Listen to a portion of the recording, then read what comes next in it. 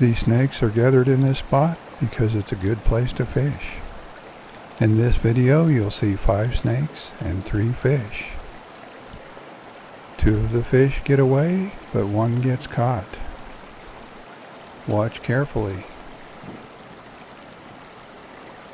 Did you see all three fish? I didn't either the first time I watched it, so I'll do a play-by-play for you. We'll call this snake snake number one. This snake actually catches a fish. Right below snake number one are snakes number two, three, four, and five. Snake number five leaves as fish number one breaks into the picture. Snake number three goes after fish number one. In the excitement, snake number four bites snake number three. They take a short break while they wait on fish number two. Snake number five reappears just in time for fish number two. Snake number four immediately grabs fish number two. Snake number five also grabs fish number two. As snake number four and five are fighting over fish number two, fish number three appears.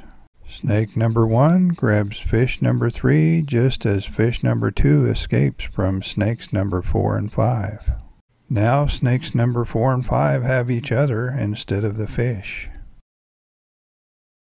Now that you know what's going to happen, let me slow this down about four times and play the whole thing and see if you can catch everything.